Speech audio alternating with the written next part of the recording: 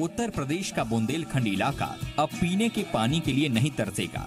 हर घर को स्वच्छ पानी मिलेगा। योगी सरकार ने जल जीवन मिशन के तहत बुंदेलखंड में हर घर नल योजना की सौगात दी है।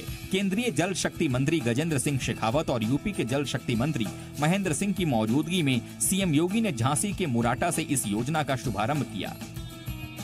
पहले चरण में बुंदेलखंड के विंध्य क्षेत्र के लिए दो करोड़ की परियोजना शुरू की गई है। इसमें 12 ग्रामीण पाइप पेयजल परियोजनाओं का निर्माण शुरू होगा। इससे झांसी, महोबा और ललितपुर ज़िले की 14 लाख की आबादी को लाभ मिलेगा और सरफेस वाटर और अंडरग्राउंड वाटर के ज़रिए हर घर तक पेयजल पहुंचेगा।